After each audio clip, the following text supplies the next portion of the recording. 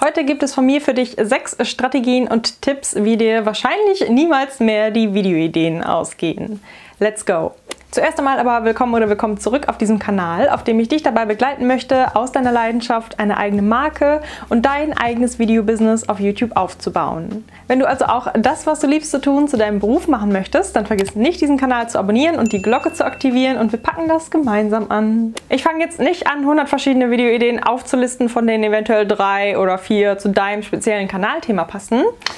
Aber ich denke, die folgenden Tipps sind umso hilfreicher für dich, sodass du in Zukunft nie wieder nach Videoideen suchen musst. Tipp Nummer 1 ist, frage deine Zuschauer gezielt nach Videowünschen.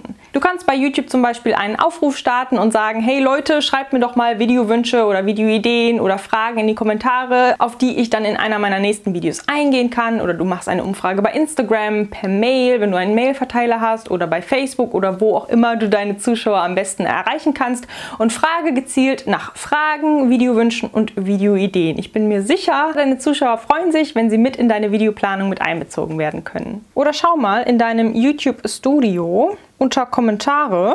Dann nehme ich hier diesen Filter raus, unbeantwortete weg. Und da kann ich schauen, ob denn nicht hier jemand schon mal einen Videowunsch geäußert hat oder eine Idee oder eine Frage geschrieben hat, auf die ich noch in einem Video antworten kann. Du findest bestimmt mindestens eine Idee, wenn du mal durch deine Kommentare scrollst und dir das durchliest, was die Leute so schreiben, was die Leute so fragen, was die Leute sich wünschen, dass du mindestens eine Videoidee für deine nächsten Videos findest. Tipp Nummer zwei ist, schau in deinen Analytics und schau mal, welches deiner Videos am beliebtesten war. Dazu gehe ich einmal auf meinen Kanal Dashboard, so sieht das aus und hier kann ich bei den Top-Videos einmal die Kanalanalysen aufrufen. Dann habe ich hier diese Übersicht und die ist meistens für die letzten 28 Tage angezeigt. Ich kann das aber auch einmal auf unbegrenzt machen und dann hier runter scrollen und da steht die besten Videos im ausgewählten Zeitraum. Dann sehe ich hier mein bestes Video oder mein beliebtestes Video war das YouTube-Kanal erstellen in 2021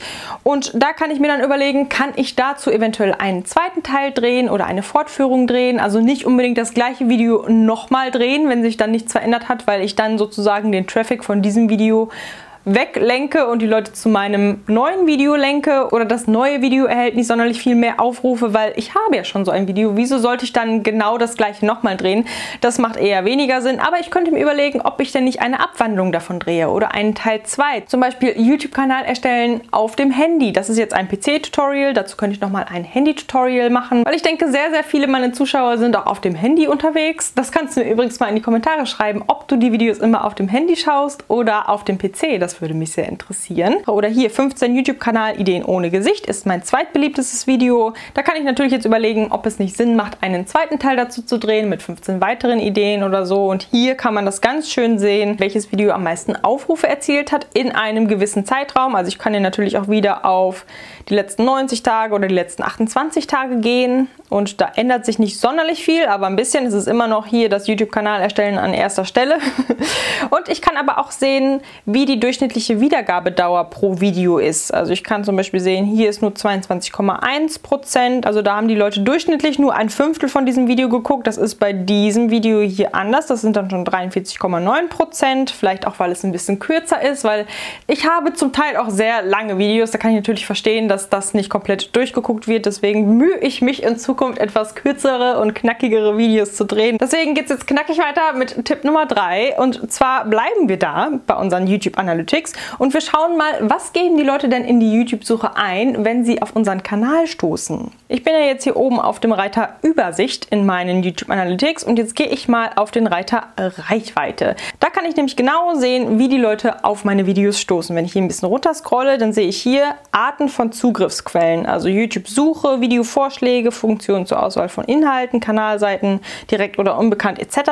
Für mich ist jetzt wichtig die YouTube-Suche. Also 31,7% meiner Zuschauer gelangen durch die YouTube-Suche auf meine Videos. Und wenn ich jetzt noch ein bisschen weiter runter scrolle, dann sehe ich hier Zugriffsquelle YouTube-Suche und da wird mir dann auch genau angezeigt, was geben die Leute genau in die YouTube-Suche ein wenn sie auf eines meiner Videos stoßen. Also zum Beispiel hier YouTube-Kanal erstellen. 8,9% meiner Zuschauer, die über die YouTube-Suche auf meine Videos schauen, haben diesen Suchbegriff eingegeben. Kanal erstellen, YouTube-Kanal einrichten, YouTube-Kanal erstellen. Wie erstellt man einen YouTube-Kanal? Prokrastination überwinden, YouTube-Videos machen, Canva-Video erstellen, Videoideen für Anfänger, YouTube-Kanal, Canva, lizenzfreie Musik für YouTube, kleine YouTuber, TikTok-Ideen ohne Gesicht, Gesicht das ist was ganz Neues. Das habe ich jetzt zum Beispiel noch nicht auf meinem Kanal. Da kann ich jetzt natürlich überlegen, macht es Sinn, ein Video über TikTok-Ideen ohne Gesicht zu drehen? Das ist natürlich jetzt auch mal eine neue Idee. Hier YouTube Analytics, YouTube Musik, Animation erstellen, Kanal-Trailer erstellen, Makramee-Untersetzer. das ist lustig. Ist auf jeden Fall mal ganz spannend, das hier zu sehen. Ja, und die Kanal-Analytics sind immer eine gute Sache, die man mal auschecken kann, wenn man gerade keine Idee hat, was man als nächstes Video drehen könnte denn auf diese Art und Weise findet man, denke ich, mindestens eine weitere Idee. Tipp Nummer 4 sind die Ergebnisvorschläge in der YouTube-Suche. Diesen Punkt habe ich in meinem letzten Video auch ganz kurz einmal vorgestellt. Falls du das übrigens noch nicht gesehen hast, dann schau nach diesem Video da gerne auch einmal vorbei. Ich verlinke dir das gerne hier auf dem i oder unten in der Infobox. Das zeige ich dir auch mal einmal ganz kurz. Wenn du jetzt zum Beispiel einen Vlog- und Reisekanal hast, dann versetz dich doch mal in deine Zuschauer hinein und überlege, was könnten die denn in die YouTube-Suche eingeben. Zum Beispiel Travel Vlog und da bekomme ich schon diverse Vorschläge. Travel Vlog Deutsch, Airport, Thailand, Australia, Greece, Germany, New York, Italy, Hawaii. Also diverse Orte, wo du denn als Travel Vlogger mal hinreisen könntest, um dazu einen Travel Vlog zu drehen. Da kannst du einfach mal ein bisschen rumprobieren und selber mal überlegen, was könnten deine Zuschauer denn spezifisch in die YouTube-Suche eingeben und dir dann deine angefangenen Sätze durch die YouTube-Suche vervollständigen lassen und so auch vielleicht auf die ein oder andere andere neue YouTube-Video-Idee kommen. Wenn du jetzt zum Beispiel einen Outfit-Kanal hast, dann kannst du mal eingeben Outfits für die Schule, für dicke Mädchen, zwölfjährige Mädchen, Jungs, die Arbeit, kleine Oberweite, kleine Frauen, 13-jährige Mädchen für die Schule, Jungs, für zu Hause, für dicke Jungs, für den Sommer, für Männer, für Mädchen oder wenn du einen Fitnesskanal hast, dann gib mal ein Fitness Meals, Fitness Lifestyle, Fitness Musik, Fitness Workout, Couple, Fitness Marshall, Fitness Musik, Fitness Transformation, Fitness Motivation, Fitness Rezepte. Also da gibt es schon wieder so viele verschiedene Ideen. Ich denke, da findet man immer was, wenn man die YouTube-Suche selber mal fragt, weil das ist ja auch genau das, was die Leute eingeben und was die Leute auch interessiert. Also ich denke, das ist auch eine ganz gute Art und Weise, um neue Videoideen zu finden. Tipp Nummer 5 ist der TubeBuddy Keyword Explorer. Also wenn die YouTube-Suche irgendwann nichts mehr hergibt, dann vielleicht TubeBuddy. Ich kann das hier einmal auch mal ganz kurz aufrufen. Ich habe da übrigens schon mal ein komplettes Tutorial gedreht. Das verlinke ich dir auch gerne mal hier oben auf dem i oder unten in der Infobox, wo ich alles zum Thema TubeBuddy erzähle, also zumindest alle Funktionen, die ich regelmäßig benutze. So, ich habe dann jetzt hier meine YouTube-Startseite. Dann gehe ich hier auf das TubeBuddy-Zeichen und starte mal diesen Keyword Explorer. Und wenn ich jetzt ein neues Video drehen möchte, mir fällt aber gerade nichts ein, dann gebe ich mal ein YouTuber werden.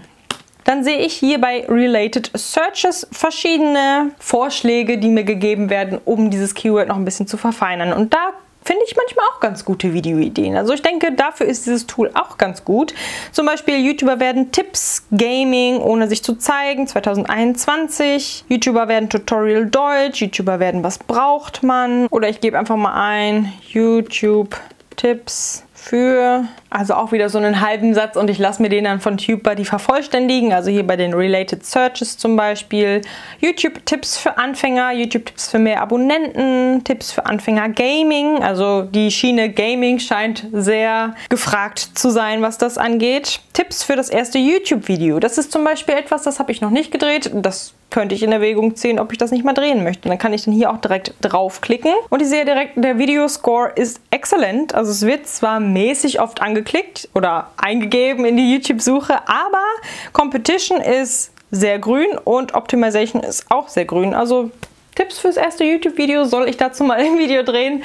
Falls dich das interessiert, dann schreib mir das auch gerne mal in die Kommentare oder gib diesem Video ein Like, dann weiß ich da Bescheid. Auf jeden Fall kann man hier auch diverse verschiedene Begriffe, was halt eben zu deinem spezifischen YouTube-Kanal passt, in den Keyword Explorer von TubeBuddy eingeben. Dieses Tool nutze ich auch ganz gerne dafür.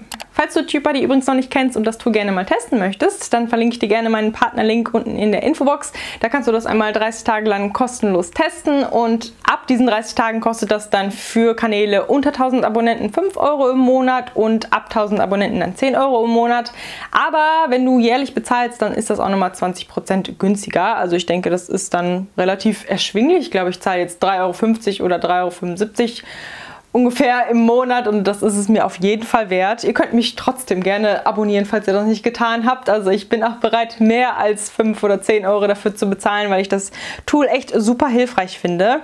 Und falls du dich dazu entschließt, über meinen Link so ein Abonnement abzuschließen, dann würdest du mich zu einem gewissen Teil auch unterstützen, ohne dass du mehr Kosten hast. Also das ist der Sinn an einem Partnerlink. Da werde ich dann zu einem Teil von TubeBuddy auch beteiligt, dadurch, dass ich dir dieses Tool dann mal gezeigt habe. Aber ja, so viel dazu. Du kannst es natürlich auch gerne selber über deinen Chrome-Browser suchen, wenn du mich nicht unterstützen möchtest. Das wäre aber eine Art und Weise, um meinen Kanal und um meine Videos zu unterstützen, falls du diese denn hilfreich findest, was ich natürlich sehr, sehr hoffen möchte. Ne?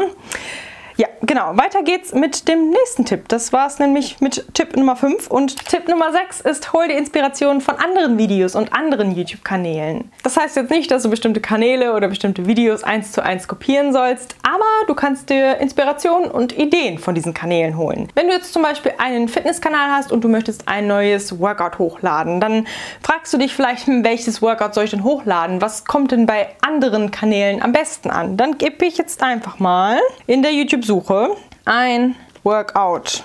Ganz plain, einfach nur Workout. Und schau mal, was wird mir da zuerst vorgeschlagen? Natürlich Pamela Reif. Ich klicke jetzt einfach mal auf ihren Kanal. Und dann kann ich hier auf Videos gehen und alle ihre Videos werden mir dann angezeigt. Und hier oben rechts kann ich dann sortieren nach. In der Regel wird das so angezeigt, dass das aktuellste Video ganz vorne angezeigt wird. Also das hier hat sie jetzt vor zwei Tagen hochgeladen. Das wird mir dann auch direkt angezeigt. Ich kann das aber auch andersrum anzeigen lassen. Also älteste zuerst oder ich kann sagen größte Beliebtheit. Und das ist das, was mich interessiert. Also ich möchte ihre beliebtesten Videos sehen. Und das ist hier zum Beispiel das 10 Minuten App Workout, 10 Minuten Sixpack, 20 Minuten Full Body, 10 Minuten Booty Workout, 10 Minuten Ab Workout. Also ich sehe jetzt hier schon dreimal 10 Minuten Abs Workout. Das wäre dann vielleicht etwas, wo ich denken könnte, okay, das scheint bei ihr erfolgreich zu sein. Vielleicht könnte ich das für meinen Fitnesskanal auch übernehmen.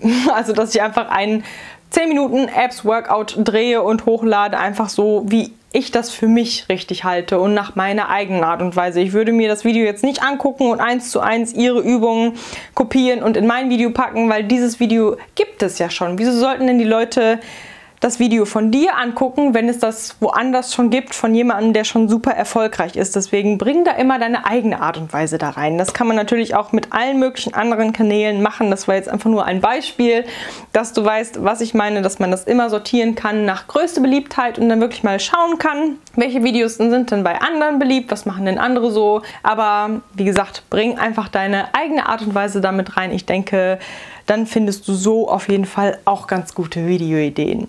Jo, und das war's jetzt auch mit diesem Video. Ich hoffe sehr, es hat dir weitergeholfen und vielleicht Anstöße gegeben, dass du in Zukunft immer Videoideen finden kannst, falls du denn mal in die Situation kommst, dass du denkst, ich weiß gerade gar nicht, was ich drehen soll, ich möchte aber ein Video drehen. Also ich hoffe, es war hilfreich für dich. Falls ja, dann gib mir gerne einen Daumen nach oben, da freue ich mich immer sehr. Und ich freue mich natürlich auch sehr, wenn du bei meinem nächsten Video auch wieder mit dabei bist, am nächsten Montag um 10. Bis dahin, mach's gut. Ciao!